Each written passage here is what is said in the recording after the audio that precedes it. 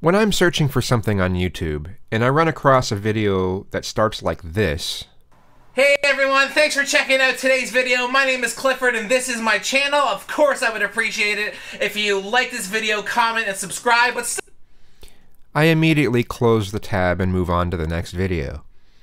How about you?